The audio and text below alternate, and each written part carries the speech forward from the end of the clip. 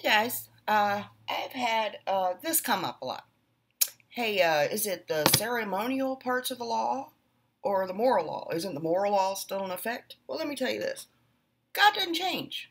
All his law is still valid.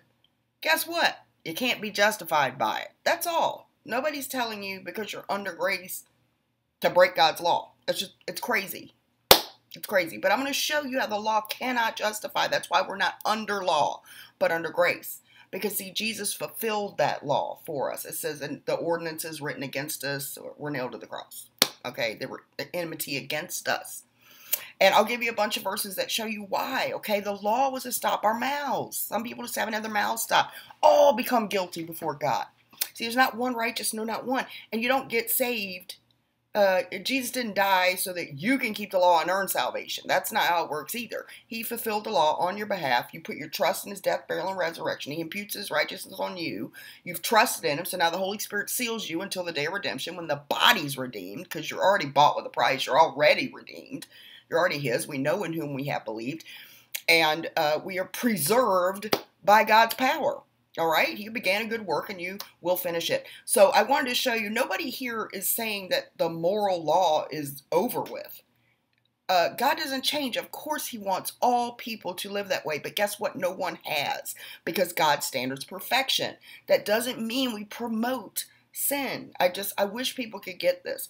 We say we're not under law, it means we're justified, declared righteous because of what Jesus did for us. He is our righteousness all of his goodness is put on our account. Okay? He took all our bad stuff we do and wore it in his own body. He didn't have any sin, but became sin. It's a miraculous thing.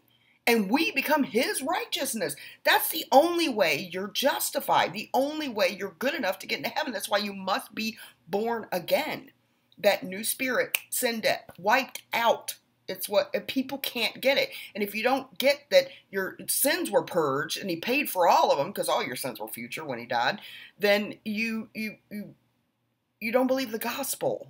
And, and, and how can you have the Holy Spirit because you haven't believed the God, you haven't trusted in what he did for you. So let's look over here. So of course the moral law is still in effect. God doesn't want anybody to kill and steal and bear false witness. I mean, it's, it's just silly to say. It's just you can't be justified by trying to keep it. My friend Daniel Stone says you, you don't get credit for failed attempts at God's law keeping. All right, we've all broken it, so we can't be justified by it at all. All right, that's the point I'm making. Uh, let let's go over here. Uh, here's some scriptures. I'll give you the verses and what they sum up to say here, and then I'll give you some verbatim verses. All right, all right, just in Romans these are verses about how we're not saved by the law. Romans 3:20. The law reveals sin but can't fix it. Okay? Romans 4:14. If the law worked, then faith would be irrelevant. Okay? It says Christ is dead in vain whosoever of you are justified by the law you're fallen from grace. Okay? Romans 5:20. The purpose of the law was to increase sin. It said the law was given so the offense might abound. All right? Romans 6:14, Christians are not under the law. Period. Romans 7 1 through 6. Christians have been delivered from the law. Romans 7 7 through 12. The law is good, perfect, and holy, but cannot help you be good, perfect, or holy. Romans 7 10. The law which promises life only brings death through sin. All right? It's the ministry of sin and death. Romans 7:13. The law makes you sinful beyond measure. Why why do people not get this? Romans 8 2 3. The law is weak because it, it, it, it's spiritual and we're carnal. All right. 1 Corinthians 15 56. The strength of sin is the law. 2 Corinthians 3 7. The law is the ministry of death. 2 Corinthians 3 9, the law is the ministry of condemnation. 2 Corinthians 3.10, the law has no glory at all in comparison with the new covenant. All right, 2 Corinthians 3.11, the law is fading away. 2 Corinthians 3 14, 15. Anywhere the law is preached, it produces mind hardening and a heart hardening veil. Galatians. Galatians 2:16. The law justifies Nobody. Galatians 2:19. Christians are dead to the law. Galatians 2:21. The law frustrates grace. I do not frustrate the grace of God or nullify it or cancel it, for if righteousness come by the law, then Christ is dead in vain. Galatians 3:1. To go back to the law after embracing faith is stupid. All right, Galatians 3:10. The law curses all who practice it and fail to do it perfectly. Galatians uh, 3:11. Law's got nothing to do with faith. Galatians 3:13. The law was a curse that Christ redeemed us from. It's a curse. He redeemed us from the curse. Why are you putting yourself under a curse? Because you think you can keep it? You haven't had your mouth stopped by the law. You haven't become guilty yet. You can't see your own failure. Jesus said, You have heard it said, but I say. He really lifted the standards. Go look at his standards in Matthew 5 and see if you can keep them. Galatians 3:16 the law functioned in God's purpose as a temporary covenant from Moses till John the Baptist announced Christ. That's in uh, Galatians 3:16, Matthew 11 and Luke 16. If the law worked, God would have used it to save us. That's Galatians 3:21. Galatians 3:23 the law was our prison. Galatians 4:24 the law makes you a slave like Hagar. Do you remember that? She represents Mount Sinai, Sarah represents grace. Ephesians Christ has abolished the law, which was a wall of hostility. Uh, Philippians 3 4, Paul considered everything the law gained him as dung, worthless. Uh, 1 Timothy 1 8, the law is only good if used in the right context. And here's the context in 1 Timothy 1 9, it was made for the unrighteous, but not the righteous. Okay. Hebrews 7 18, the law is weak, useless, and makes nothing perfect. Hebrews 8 7. God has found fault with it, created a better covenant, and acted on better promises. Now, that doesn't mean that God's law is wrong. It means that it can't work for us in the fallen sinful nature. So, God has, his justice has been served. His wrath was poured on Christ for you and for me. People don't believe that. Okay? That my sin debt's wiped out. This is the greatest news ever.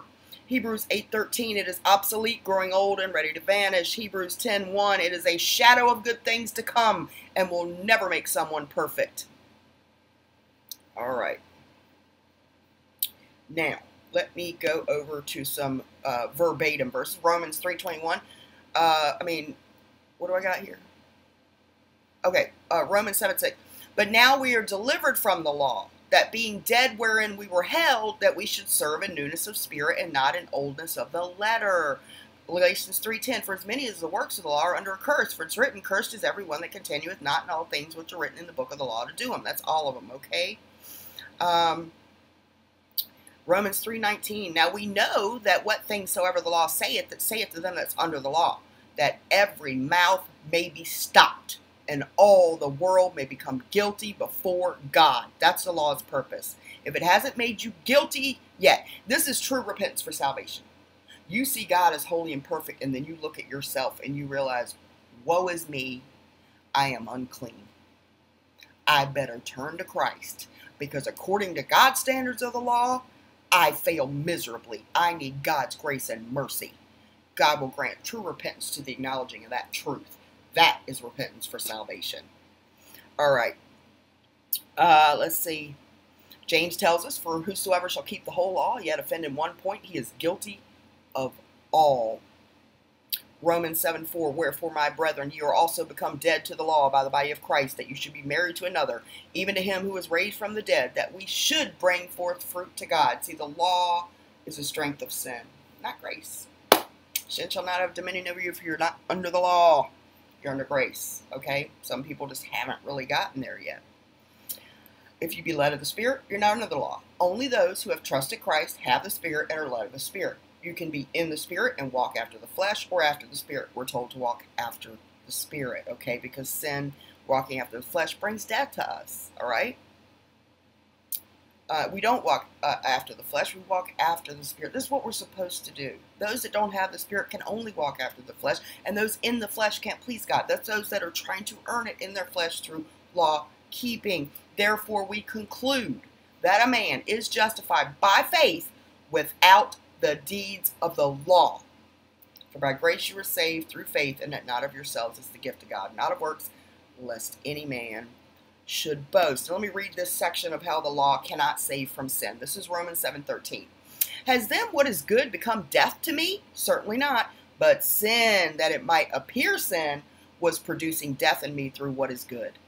See what the law did? It stirred up sin. It showed us how we failed. So that sin through the commandment might become exceedingly sinful. For we know, see, people just haven't gotten to this place yet. That's why they still think they're doing something to get or keep salvation. You can't do it. For we know that the law is spiritual, but I am carnal, sold under sin. For what I am doing, I do not understand. For what I will to do, that I. Oh, now this is the New King James Version. I'll go ahead and read it. Okay. For what I am doing, I do not understand. For what I will to do, that I do not practice. But what I hate, that I do. So if then I do what I will not to do, I agree with the law that it's good. But now it is no longer I who do it, but sin that dwells in me. For I know that in me, that is in my flesh, dwells no good thing. For to will is present with me. But how to perform what is good, I do not find. See, we want to do it, but this flesh wars against the spirit. For the good that I will to do, I do not do. But the evil I will not to do, that I practice. Now, if I do what I will not to do, it is no longer I who do it, but sin that dwells me. See, there's a new man. That new man is in right standing, justified, perfected forever in the presence of God. But this old man, this flesh, we're told was crucified with Christ. It died. It's already dead. It's already, sin was condemned in the flesh. This body's going to die, okay? But the spirit lives forever because the Father received the payment from the Son for my sin debt. That's why I know I have eternal life. And I want people to get that. I find that a law that is evil is present with me, the one who wills to do good. For I delight in the law of God according to the inward man. But I see another law in my members, warring against the law of my mind, and bringing me into captivity to the law of sin which is in my members. O wretched man that I am, who will deliver me from this body of death? So I wanted to explain that. Of course, God's moral law is still in effect. It always is. But you can't be justified by it. That's all. That's all I've ever said. So I hope that clears up the law versus grace for you. God bless.